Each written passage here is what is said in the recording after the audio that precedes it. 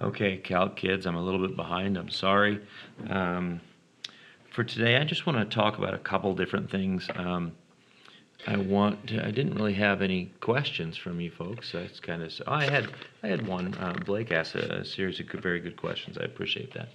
Um, I am going to show you the answers on 29. 29 was a challenge, and honestly, um, this involved a strategy that I've never had to use before. Um, I'm going to give you a little hint. I'm not going to quite tell you the um, the answer yet, but um, but I will give you a hint and see if we can work our way towards it. And today I'm going to keep it kind of short because I've got something I got to go do here real quick. So 29, what we've got is this situation like this, where this is 12 meters, 12 meters high, okay? Not feet, meters. Okay, we've got this pole that is also 12 meters, and then we've got this rope. Okay, so I'm just going to call that R. Okay, and we want to know what the vertical rate of change is and the horizontal rate of change. So we want to know dy dx, or dy dt, sorry, and we want to know dx dt. Okay.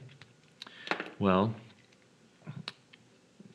Blake and I kind of bounced around some ideas on this, and I think this is kind of the best way we've came up with. We can go ahead and call this um, let's go ahead and cut this into two, and let's call this angle theta. Okay, so then we can go ahead and write an equation relating theta and 12. Okay, I'm going to let you guys handle that one. So then after you've got this, you can, well, what the heck, I'll write it. Okay, we got sine of theta is r over 2 over 12. Okay, so sine of theta is r over 24. Okay, let me go ahead and zoom out here. Okay, so then um, we've got this angle down here. Um, this angle down here is obviously going to be 90 minus 2 theta. So then we've got sine of 90 minus 2 theta equals um, y over 12. But then you can see that solving for this is going to be inverse sine, and then we have to plug that in. Oh, this is getting uglier than ugly than ugly, okay? So here's what I'm going to recommend. Find dH dt, or d theta dt. Find that. What does that equal? Okay? And then use that d theta dt in this equation after you differentiate that. Okay? Try that, and then we'll see if we can come up with the right answers. Okay? Um, of course, you're going to have to write another equation for, for x. Okay? But like I said, find d theta dt at that point in time. Okay? Um,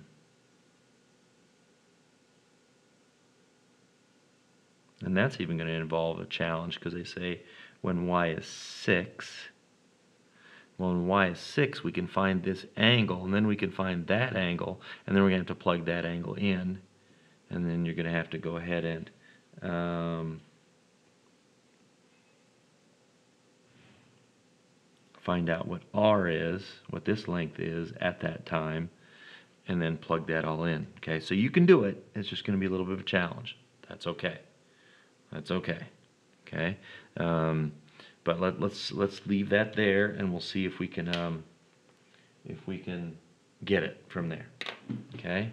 Um, I have misplaced what I gave you the other day. Gosh dang it.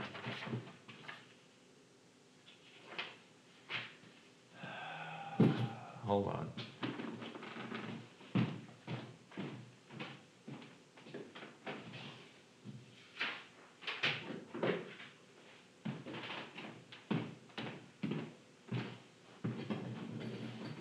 Okay. I, I can't find it, so I don't know where in the heck that went. Okay, mental note, work on organization, which I think I am getting better at with this. Okay, so let's work on those. Okay. Um,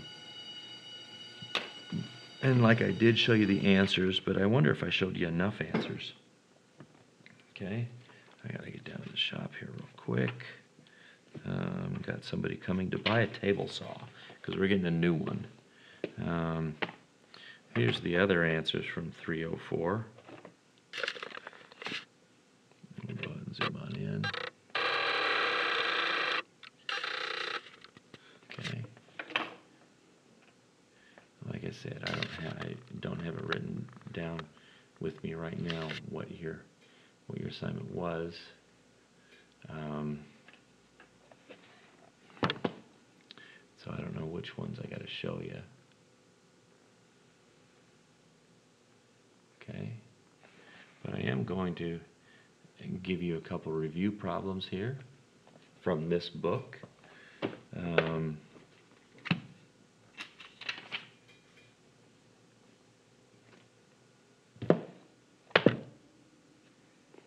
okay.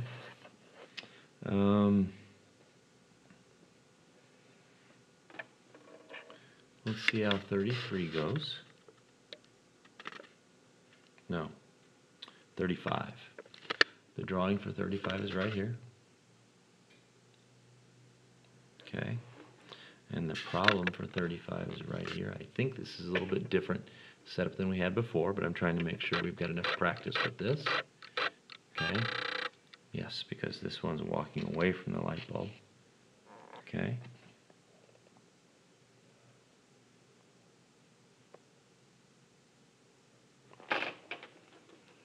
Let's go ahead and start setting up um, 41 to see if this um,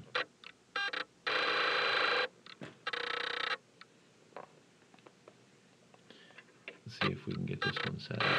Just, what I'd like you to do is just try and set this up. Don't um, don't worry about getting it all done necessarily, but um, that I think is is um, is an interesting problem. Hmm, interesting. And I'll tell you the answer for 41. I don't know if I showed you that answer.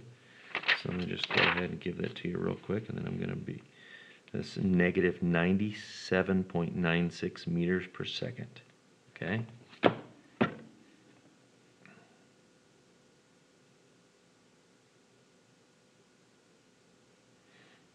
Okay. And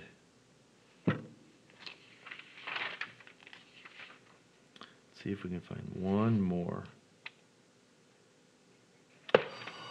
There's a problem that I would like to do 13 and 14.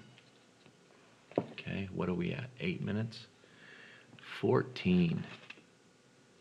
I'm going to do 14 today. Okay.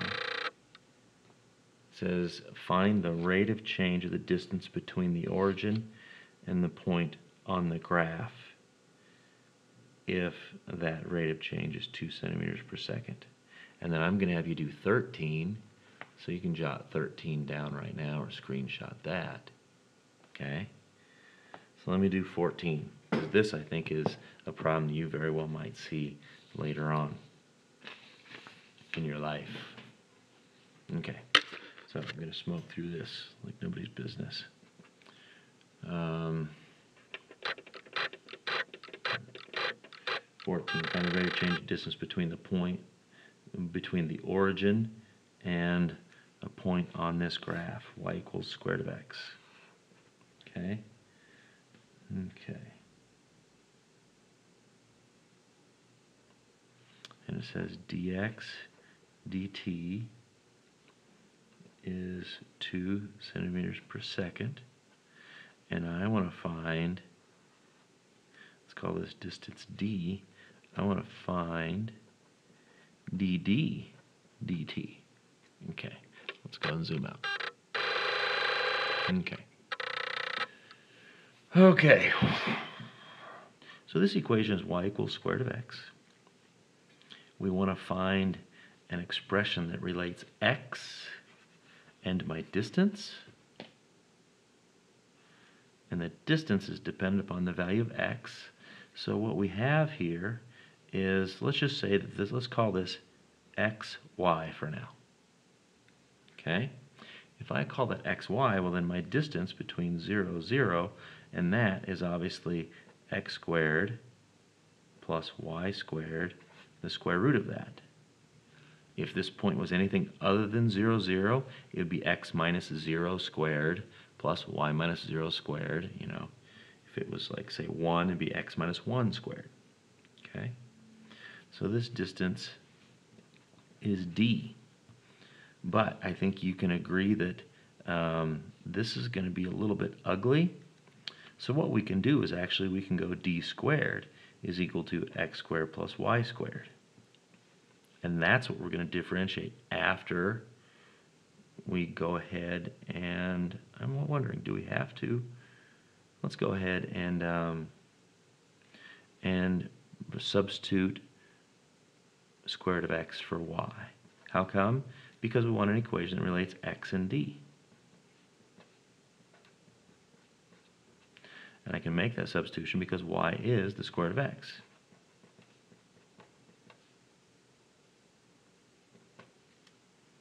And I can differentiate.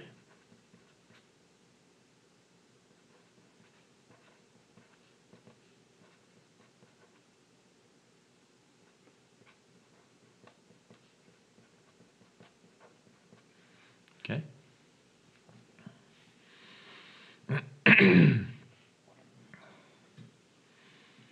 okay.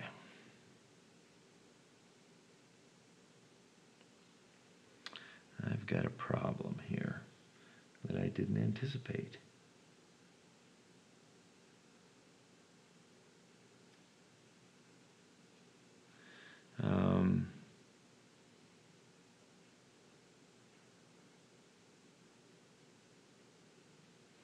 Because I have dx dt, but I don't have a value of x.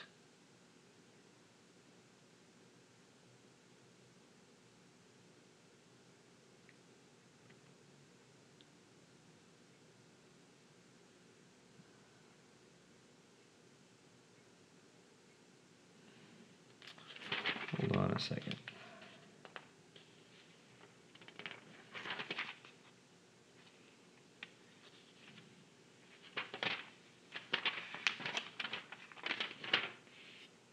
Well, this is embarrassing.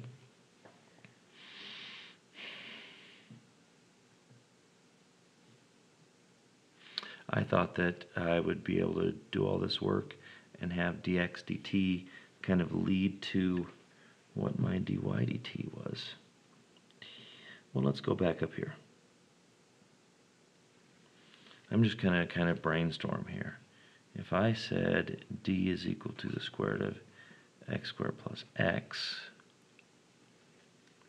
then d d dt, I wouldn't need to know d, 1 half x squared plus x raised to the negative 1 half times 2x dx dt plus dx dt. But then I still have x that I need to plug in. 2's would cancel. So I'd have x over the square root of x squared plus x.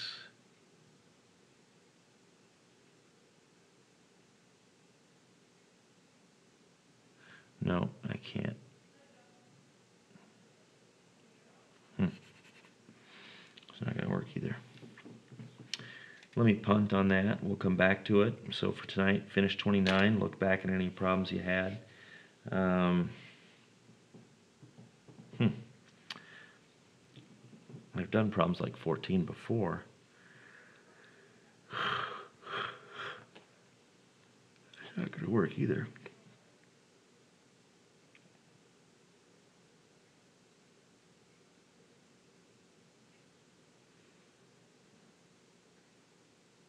Hmm.